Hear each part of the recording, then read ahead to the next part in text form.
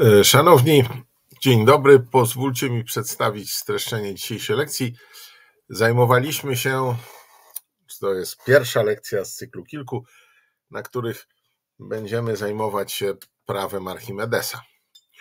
No i tak jak opowiadałem Wam na lekcji, to jest e, moja próba zabrania nas na, Was na wycieczkę w, do świata e, takich abstrakcyjnych pojęć, których, y, y, które poznajemy, analizując, y, obserwując doświadczalne konsekwencje ich istnienia.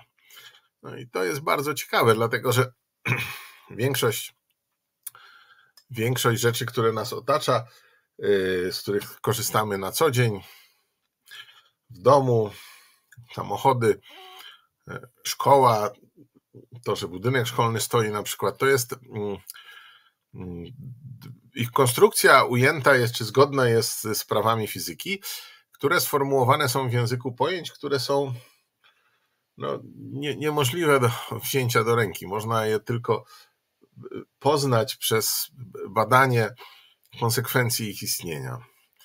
No i do tego świata chcę Was na tej fizyce zabrać, y, na lekcjach fizyki w szkole podstawowej, żebyście potem na dalszych etapach e, swojego wykształcenia umieli e, zaprzyjaźniać się z takimi pojęciami. Zresztą istnienie tych pojęć nie dotyczy tylko przecież e, nauk ścisłych. Cała literatura piękna to są historie, które tak naprawdę nie zdarzyły się w rzeczywistości. To jest wszystko pewne idee, które powstały w głowie autora i które autor nam przekazuje, próbując właśnie przekazać przy okazji pewne swoje przemyślenia. No ale wracamy do prawa Archimedesa.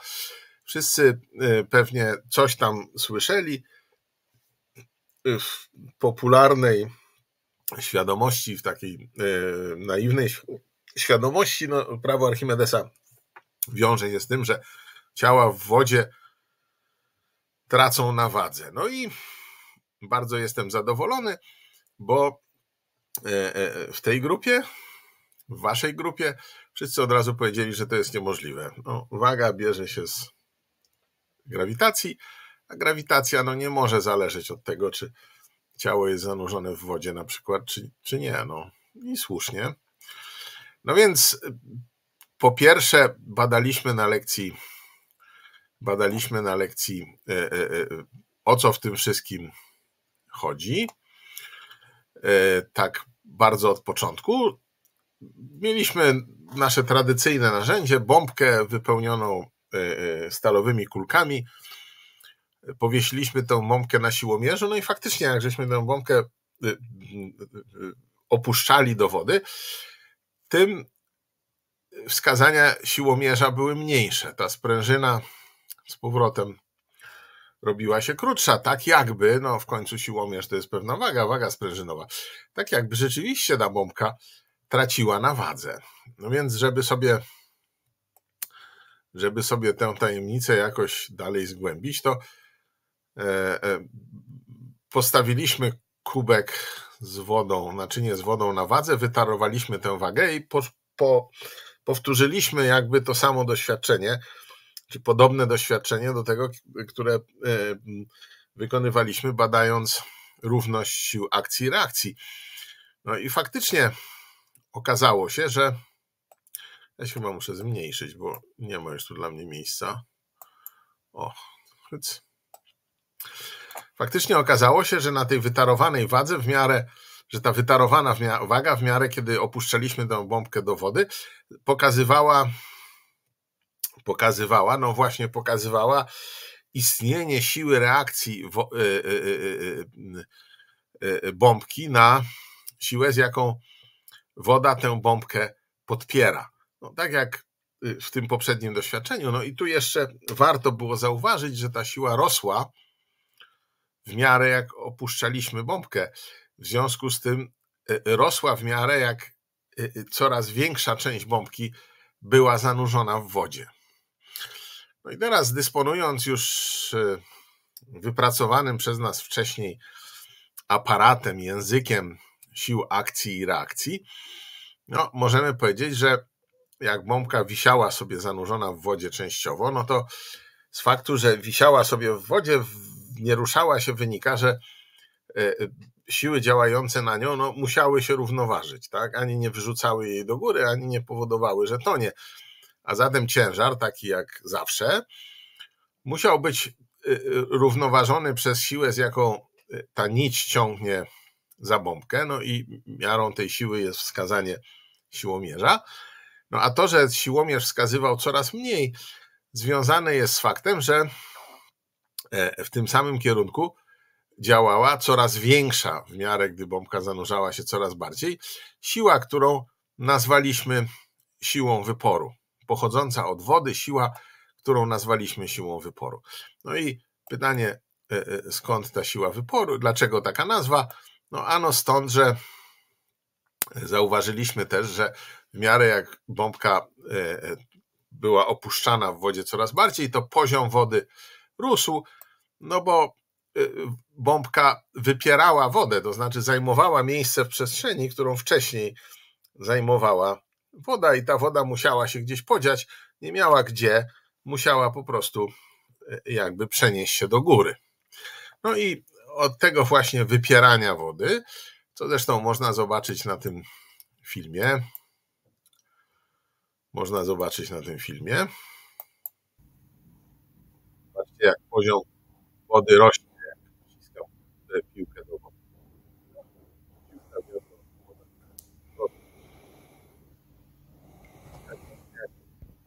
Jeszcze raz możemy sobie to obejrzeć. Widać właśnie, jak piłka wypiera wodę.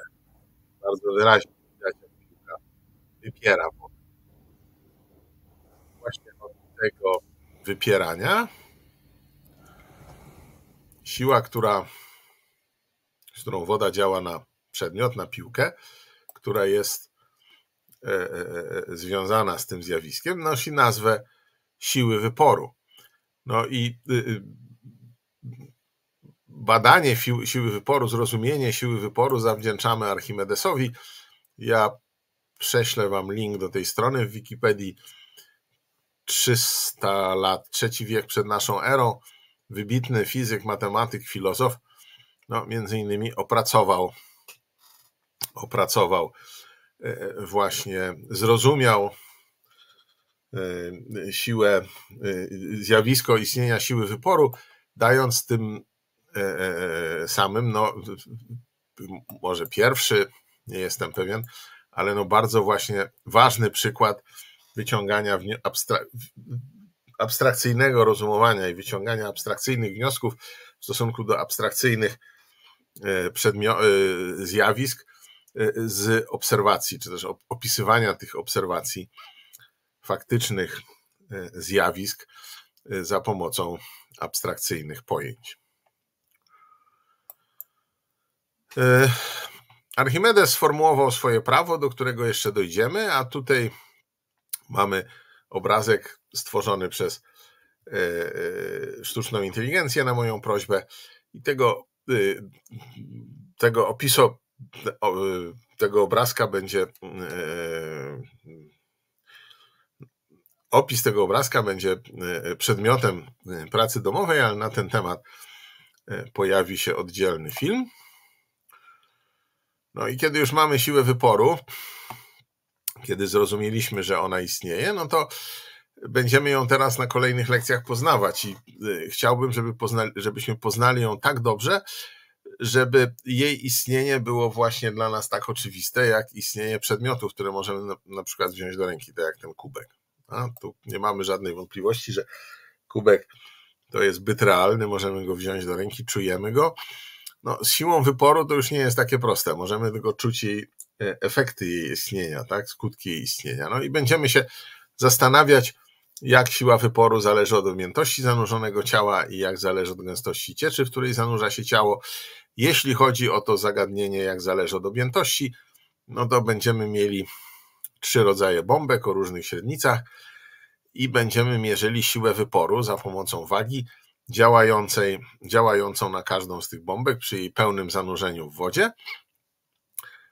No i ponieważ, i tu uwaga, e, objętość bombki e, musi być proporcjonalna do trzeciej potęgi średnicy.